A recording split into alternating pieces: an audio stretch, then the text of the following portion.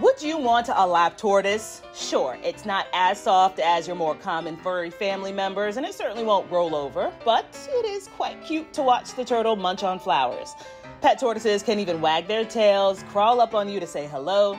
They can even recognize their own names.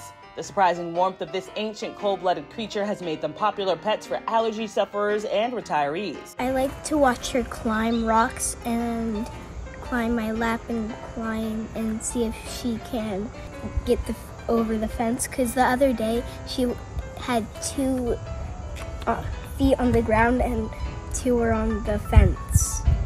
She was trying to get out.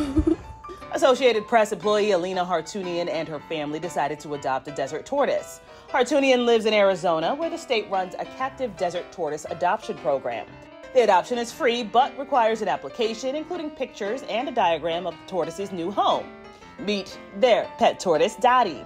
Dotty is an Arizona native, so it's pretty easy to set up a habitat that suits her needs. Most of her diet consists of the garden lawn. The rest comes from plants there. Hartounian's daughter, Seda, also picks bright yellow trumpet flowers from her schoolyard to hand feed the turtle. That's living the high life. She was a real cutie. I didn't think she would be she would go all over the place. I thought she would be a tortoise who would just hang out and sleep all day. One thing families should be aware of like other reptiles, tortoises can carry salmonella. So, people, especially kids, should always wash their hands after touching them. For Inside Edition Digital, I'm Stephanie Officer.